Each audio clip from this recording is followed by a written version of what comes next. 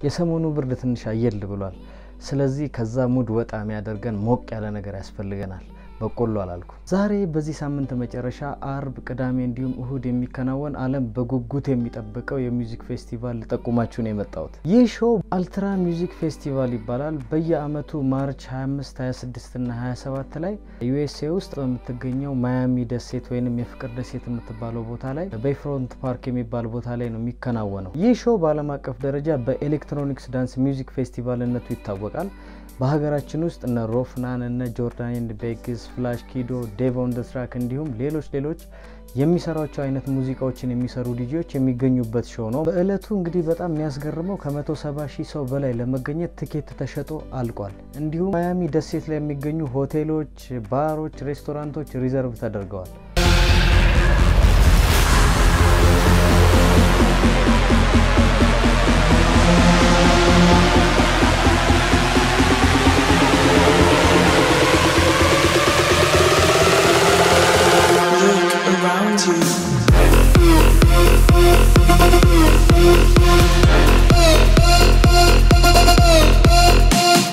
ይህን show በየአመቱ ሰው እንዲጠብቀው ካደረጉት ምክንያቶች አንዱ የሚጠቀሙት light ና sound ነው። በጣም quality የሆኑ light ና sound ይጠቀማሉ። ያው የመጨረሻውን የቴክኖሎጂ ደረጃ በመጠቀም sound ና light ኣቸውን ጥንቅቅ አድርገው ጨርሰዋል።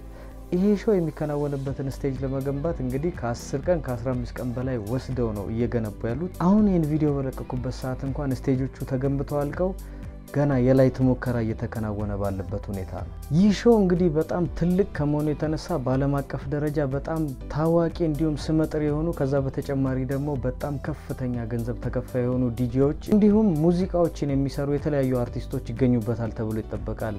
ለምሳሌ እነ DJ Snake፣ ዴቪድ ጌታ፣ ሃርድዌል፣ ማርቲን ጋሪክስ፣ ዲሚትሪ ቬጋስ and ላይክ ማይክ፣ አርሚን ቫን ቡረን፣ ብላስተር ጃክስ ዳዲ ያንኪ፣ ዲዋሊፓ፣ ቲየስቶ፣ ስቲቭ ኤዮኪ፣ ዴድ ማውስ፣ አሸር፣ ጀስቲን ቢበር ብቻ ምን አለፋችሁ ስማቸውን ጠቅሰን የማንጨርሳቸው ሙዚቃ ላይ የተሰማሩና በጣም ታላላቅ አርቲስቶች ይገኛሉ ተብሎ ይጠበቃል።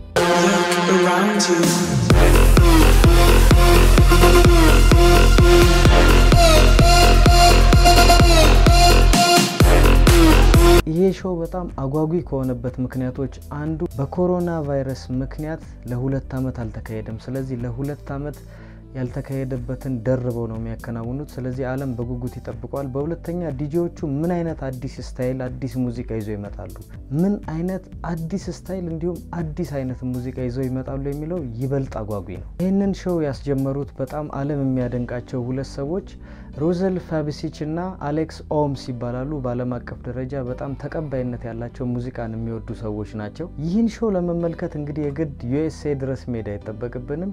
UMF TV ወይም Ultra Music Festival TV የሚባል የ YouTube channel አለ።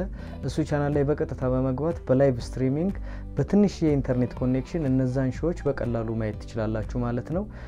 description box ላይ link ኡን አስቀምጥላችኋለሁ እንድትከታተሉት ጋብዛችኋለሁ።